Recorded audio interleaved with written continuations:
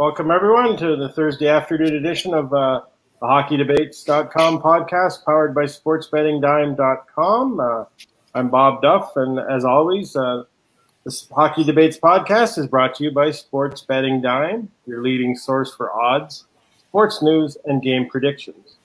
If you're looking to see who's the favorite to win the Stanley Cup, the Hart Trophy, or who's going to win a specific series, check out all the info at sportsbettingdime.com.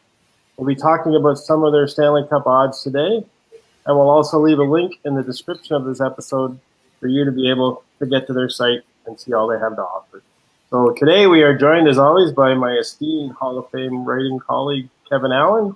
And today our guests are a couple of the uh, sports betting dime experts. We're going to lay some uh, sports betting genius on us today. We've got Matt McEwen, the editor in chief at sportsbettingdime.com, and our regular panel member, Sascha Paruk, the lead odds maker at sportsbettingdime.com.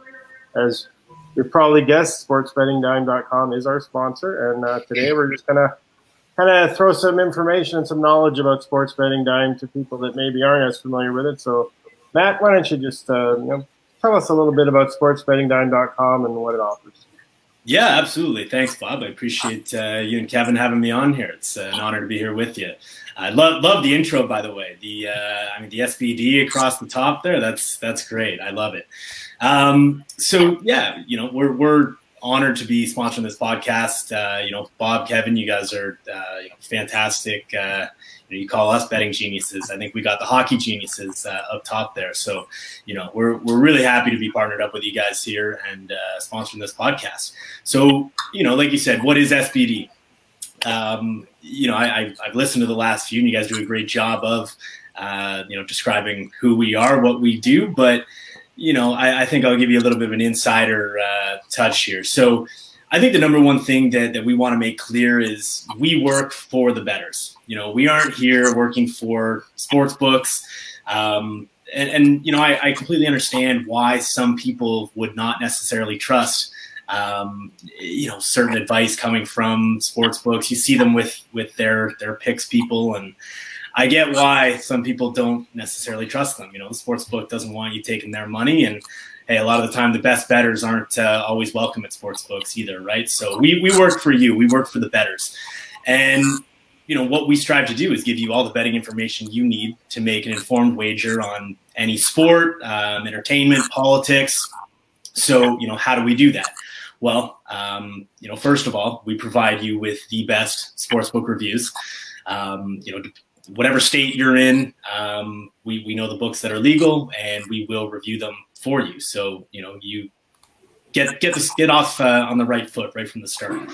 Um, as I said, legalization, touching on all that, um, you know, we'll tell you what's going on in your state. Sascha's been great for that. Um, he's he's the real genius over there on that stuff. But um, you know, wherever your state is in terms of legalization, Sascha knows about it. SBD's got the uh, the information for you. Um, but you know, on top of that, we, we always have the most uh, up to date uh, odds on you know sporting events, like I said, entertainment, politics. Um, our matchup page is actually, I, I, really think, are you know one of the best parts of the site right now. Um, whether you're looking for line history, line shopping, team trends. Uh, player stats, team stats, injury reports, you know, whatever you need to make a bet on that game, we've got it for you. So um, you know, this being a hockey podcast, make sure you check out uh, all the matchup pages for uh, the hockey games tonight, tomorrow, when uh, whenever you may be looking to make a bet. But um, getting into some of our, our unique stuff here, um, we we really have made uh, ourselves the the home for futures trackers. So, you know, we're not talking. Look at many of our competitors; they provide you with you know, what are, what are the most recent futures odds? But we go above and beyond for you. You know, we're providing you with not just the most recent, but we're showing you the ride that, that every team's taken uh, along the way, right? So I'm sure Sascha's uh, talked quite a bit about the the NHL, uh, the Stanley Cup tracker already, but you know, uh, if, if you're following along with our tracker, you know that this year Chicago's been offered at uh, 500 to 1 at one point in February. Uh, Columbus, you could have found at 200 to 1 in December. Uh, even Philadelphia, you know, the uh, one, one of the favorites right now, uh, you could have had it 50 to 1 in late October. So, you know, it doesn't maybe necessarily uh, help you make that bet right now. Uh, you can't get those 50 to 1 odds anymore for sure. But, um, you know, being able to see the ride uh, kind of helps you figure out the trends, figure out, you know, the highs and lows that each team's experienced. Um, along with that, you know, any bit of breaking news in any sport, we are um, we're on top of. We're telling you how it affects the betting scene, um, whether that be a single game, the futures, a prop bet. We got it all. Um, so on, on top of that, I mean, I, I kind of want to throw out a couple of our, our new features um, to to I know Bob and Kevin, you guys have seen some of them here, um, but uh, you know, for for your listeners here and for those you know hockey fans, um, SBD Play is you know one of one of the I, I think this is going to you know really take off. It, it's already got um, you know, thousands, uh, tens of thousands of, of people signed up. Um, but it's it's really starting to take off now that we have sports back. Uh, we just launched this kind of early, um, sorry, late late 2020. Sorry, uh, late 2019. I'm stuck in 2020 here. It's been such a long year. So we, we launched this late 2019 and you know unfortunately ran into the the uh, coronavirus stoppages. So just as we were really picking up we we you know suffered through that. No games to bet on. Um, now you know we're back and we're seeing a ton of uh, ton of new users. So what is SBD play? It is a free to play sportsbook. So I, I, know that you know some people have the luxury of, of making uh, sports bets in in their state but not everybody does. So you know, how, how do you, how do you prepare yourself for when the time comes? Well, we're giving you the practice, right? So you head to SBD Play. It's the exact sportsbook experience you will get. Um, you know, you, you pick whatever game you want. Uh, we've got money line spread, totals, hockey here for, you know, puck line. Um, but, you know, you make your bets. It's a weekly contest. Uh, you start with $500 and the person who makes the most profit by the end of the week wins a $500 weekly prize. Um, so we, you know, with more and more users coming, we're also talking about kind of some uh, prize expansion, um, you know, making it uh, a little easier to win. Not necessarily easier to win, but more opportunity to win. Um, so SBD Play, uh, you know, check it out. We do have an app now available on uh, both iOS and Android. As well as that, you know, we, have got our own actually, uh, we've got an odds app coming out, SBD Odds. So um, you know what, what, you get on the website, you'll be able to get just uh, in, a, in, a, handy app. Um, again, both iOS and Android. Um, and I think one of the more exciting things uh, for, for me, anyways, that we have coming out, uh, we're calling it SBD Plus. It's a uh, membership service. So, you know, you will be able to get all the, you know, kind of inside information, the stuff that the sports books maybe aren't making public, uh, as well as, you know, not many other no other competitors are, are making this uh, this public. You know, you'll get money percentages, uh, bet percentages for every game, um, as well as some some inside looks at uh, some long-standing trends, things like that. So, um, you know, keep your eyes open for that. Um, and yeah, you know, I think I've uh, I've talked your guys' ears off enough here. I think. well, I want to know myself getting into this industry.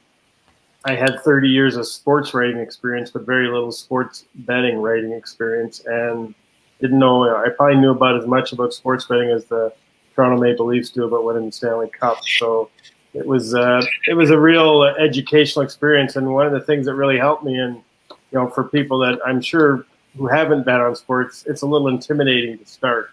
And you guys have so many like, at Sports Betting Dime. There's so many pages explaining how everything works, and you know the kind of the ins and outs, the ABCs of sports betting. For someone who's never done it before, you know all the uh, it's like having a, getting a PhD in sports betting by the time you read through all that stuff. Uh, that's a great point, Bob. And I mean, first of all, uh, I, I, wish you didn't have to throw that Leafs dagger at me. I, I am a Leafs fan here. It still, it still hurts a little bit. Um, but no, that that's uh, another great point there, Bob. You know, our, our how-to stuff um, is really top notch, and you know, whether like you said, whether you're you know just kind of a beginner, um, just just getting started, we we have you covered. Or if you're someone who's more seasoned and you know you're looking for some advanced resources, some strategy, know, we we've got that as well. So uh, another great point there, Bob. Yeah. So in terms of hockey specifically, what are some of the things that a hockey bettor is going to find at SBD that they might not find anywhere else?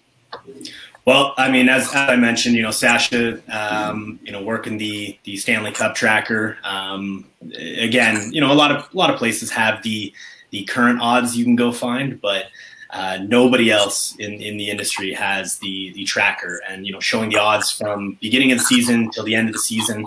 Um, and and just really getting the that entire ride. So you know the trackers are are huge.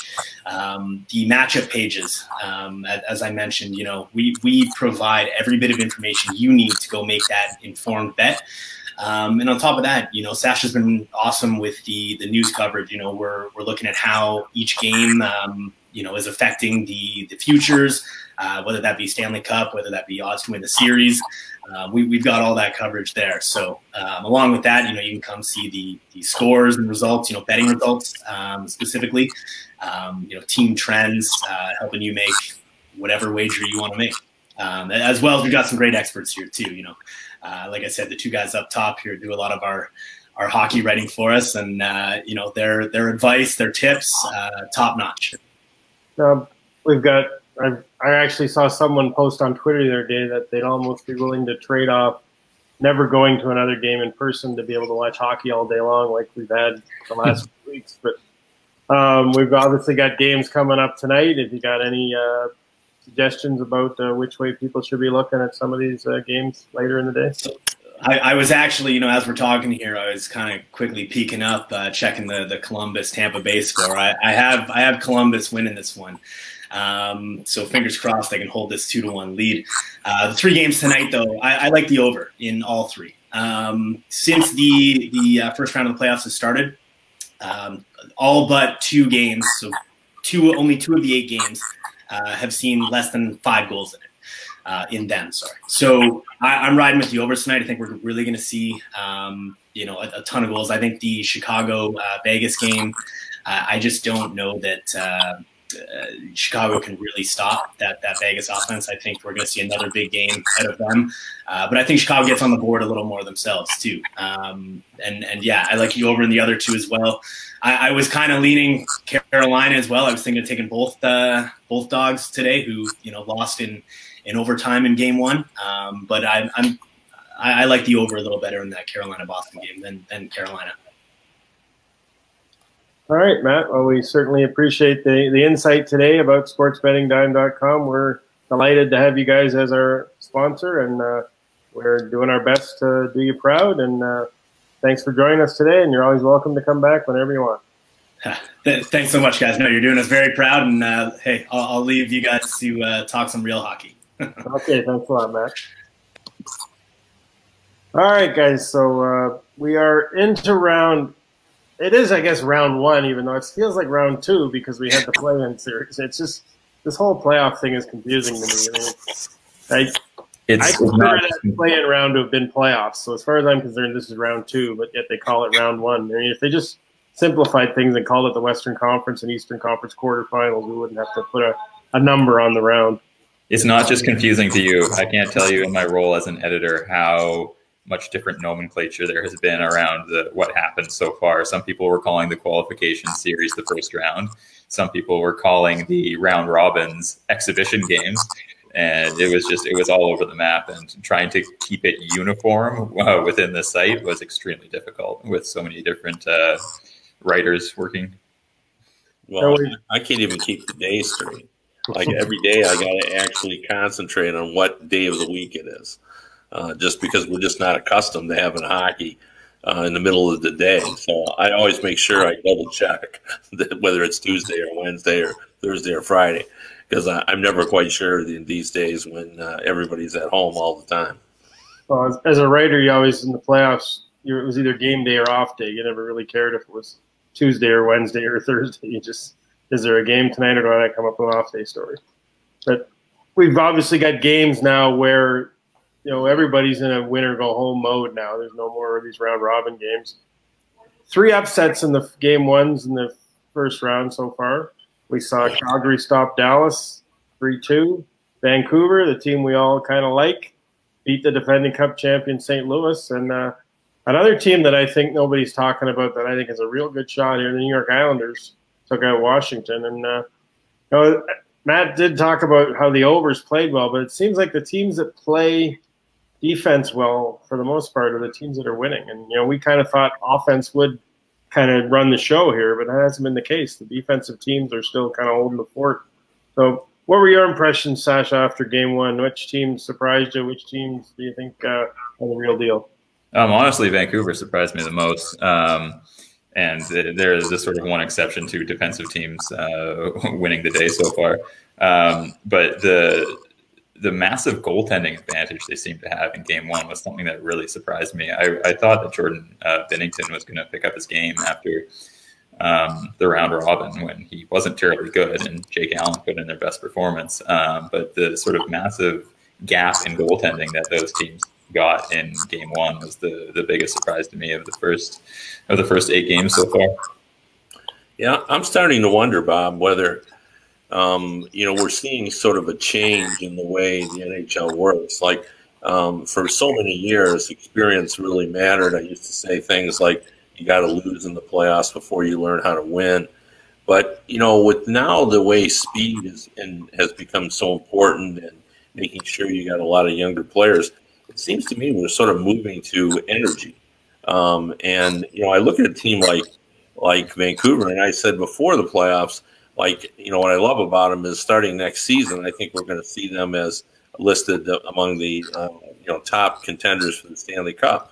But now that I've watched them, you know, game one in the first round, having watched what happened in the um, qualification round, I, am starting to wonder whether or not you know we're missing the boat here, and that they're you know they could actually make a deep run uh, this season, and you know not so different than from the Carolina experience last year when they kind of surprised people and uh, uh, were able to go all the way to the conference final. They didn't play particularly well in that conference final, but you know when you look at this Vancouver team, and you know they have all the elements.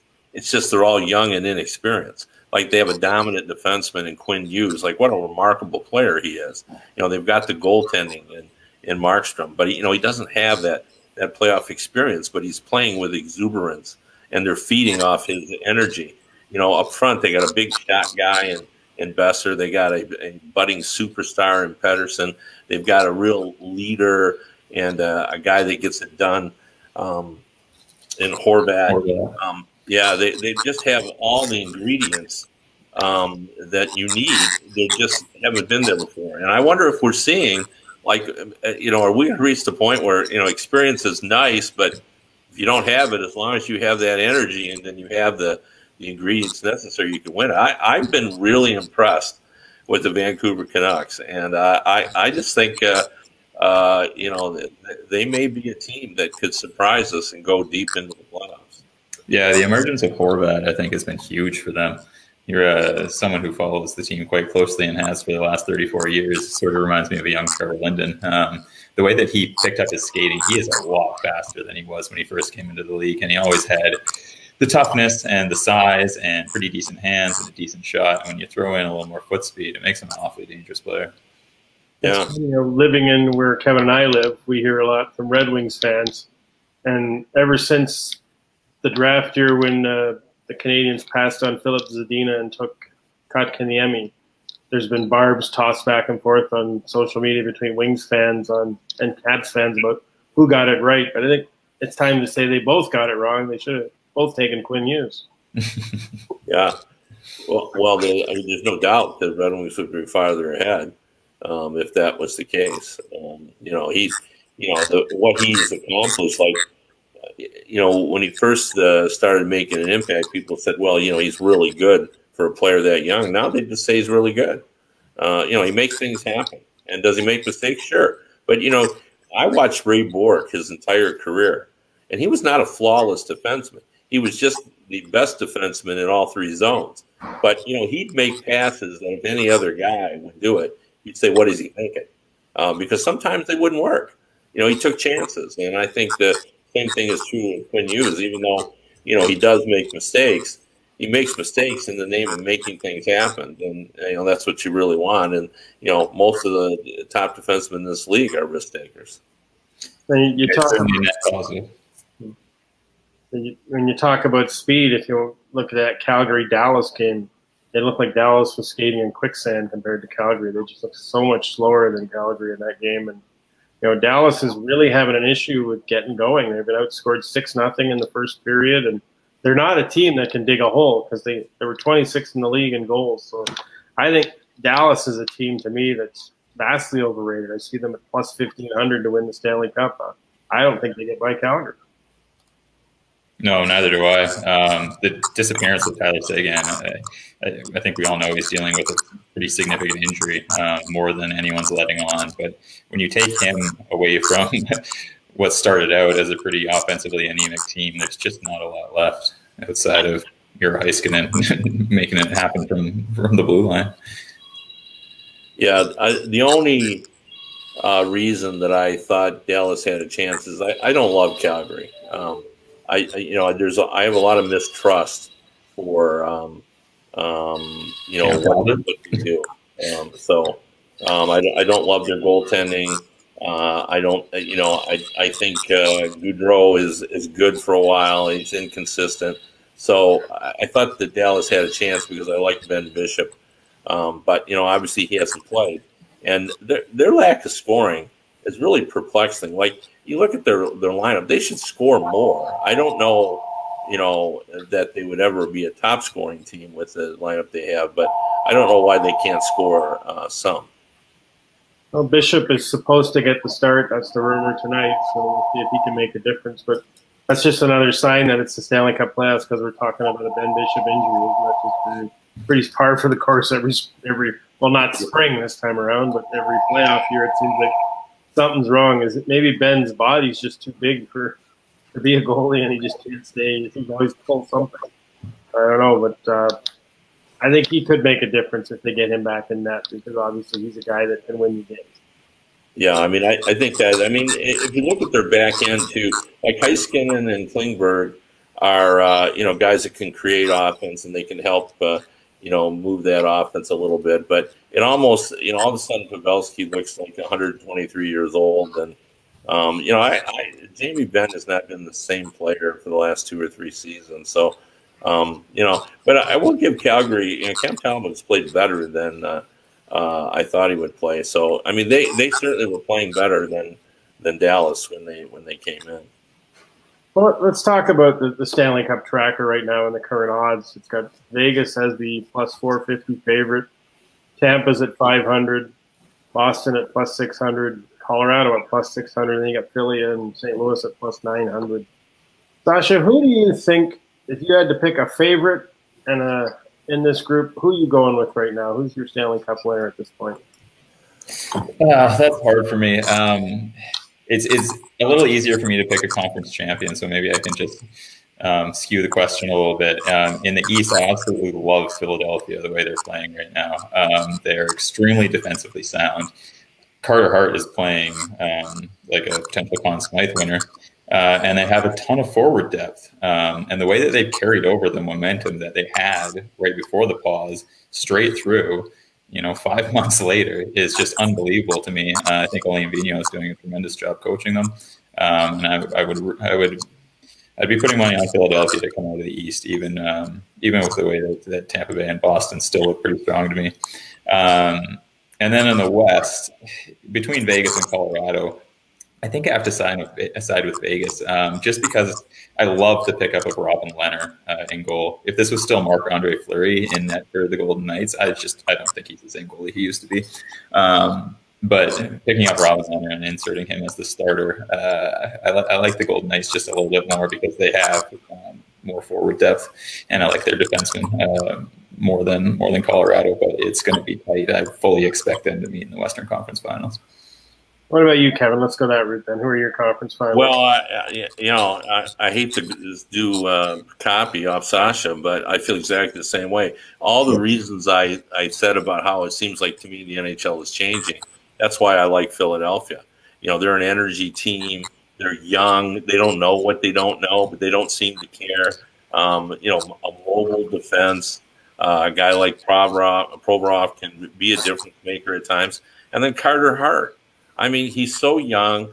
He has no idea, um, you know, what what it takes to win a Stanley Cup, and he doesn't seem to care. Like he's he's Carey Price without the pedigree. Um, and you know that that was his idol, and I, I like everything about them. You know they have enough scoring. They have a guy, Couturier, who um, you know was first came up, and everybody said he was, and I think it almost hurt him that they they said he was so good defensive. Like he didn't, you know, he did scratch the surface of his offensive ability, and then after he'd been in the league a while, someone must have said to him, you know, you actually could score if you you know put a little more effort in it and not worry about defense 100% of the time, maybe just 86% of the time. And now all of a sudden he's a top player. So I love the way they're playing. Uh, I, I, still, you know, I, I, like Tampa too. There's so much talent there, so much depth. Uh, I think they're going to get by Columbus, uh, even though I know we're all worried a little bit about that because Tortorella's teams are difficult to, to play against. And in the West, I know how good Colorado is. I love Nathan MacKinnon. I think he's the the uh, biggest impact player still alive. But I absolutely love this Vegas Golden Knights, and they are so smart. Like everybody thought they were adding insurance when they got Robin Lehner, and they weren't. They looked at Marc Andre Fleury, who they just worship because he's the most popular player. He's an incredible guy in the dressing room. They love everything about him, but they watched him not perform at the same level. And Robin Lehner, meanwhile, was playing great in Chicago. And I, I believe that they saw this coming. They saw that Robin Lehner was going to end up being their playoff goalie. And they didn't want to say it, you know, obviously, because, you know, in case they were wrong. But I think they saw this coming. And you look at that Vegas lineup, and what I love about it, they're not a single player dependent like we see. You know, they don't have that superstar score like Washington's got to have Ovechkin score. You know, even even the the Bruins, you know, they need that top line going. Vegas has got a lot of guys that can score, and they have a lot of top players. Not any great players up front. Their defense is the same way. They play well as a cohesive unit. The Martinez trade, I think, really has solidified that group. And Shea Theodore, Theodore, you know, stepping up and playing at a little bit level, higher level this year has really helped them as well. So I'm going Vegas, and I'm going to actually take Vegas to win the cup over Philadelphia. Well, I'm going to agree with you guys 50%. I like the Flyers too. I actually saw a tweet today from former NHL goalie Eddie Lack where he said Carter Hart's the best goalie he's seen in person since the first time he saw Carey Price play a game. So that's a, a pretty high compliment coming from a, a, peer who played goal in the NHL. And they, the Flyers just have every piece of the puzzle. It seems like they've got they're good on the back end. They got mobile guys. They've got depth up front. They've got the goalie. I always liked Alain Vigneault as a coach. He's taken two other teams to the Cup final already. He hasn't won it yet, but he's gotten there twice. There's, I just think Philly's the team to beat. Tampa Bay to me is starting. They're starting. To, I'm going to age myself here, but they're starting to remind me of those early Rangers, early '70s Rangers teams. They always looked so great on paper. You were convinced one of these years they're going to win it all, and they never could get over that hump. And I'm, I guess, a more common reference to a team like that would be Sharks. They had all those great teams for all those years and never could seem to get over the hump. And I think that's starting what I'm wondering is that going to be Tampa Bay's fate? Are they going to be this great team on paper that never puts it together and wins it all? Uh, where I'm going to disagree with you is in the West because I really like the Avalanche. I think they've taken a step further each of the last three years. They've kind of grown together. They've added some pieces I really like. Uh, Joonas Donskoi and even uh, Bellemare, the former Vegas player, you know, guys that have been there, played in the Cup final. You know, Nazem Kadri's given them a great second line center, and they figured it cost them those series against the Bruins. I think what he's done for uh, the Avalanche has given them that second line, that guy who can play against the other team's top players and I just think they've got all the pieces there. And uh, I think Colorado is going to be the team that wins the West. And I think they're the team that's going to win the Cup, in my opinion. What if you had to pick a sleeper on this list? Like, who's a team that maybe uh, could, obviously we both like, we all like Vancouver, but what about the East? I kind of like the Islanders, I mentioned. I, I like the way they play defense. I like Barry Trotz as a coach. Can they score enough goals? That's the one thing that could hold them back. But I think if I was picking a sleeper in the East, I'd go with the Islanders. What about you, Kevin? Yeah, you know, um, just to be a little bit different, maybe what I'd say is is Columbus. Um, uh, I, I think uh, if they could get by Tampa here, and I think that's a big if. Um, you know, like who knows? Like they're a team that is built to play and win in the postseason the way we always played it. Uh, you know, they're they're hard to play against. Um, you know, they can put a ring around the net. Seth Jones has just been a beast in every game that he's played. Um, and you know, and they, you know, Dubois I think is coming of age.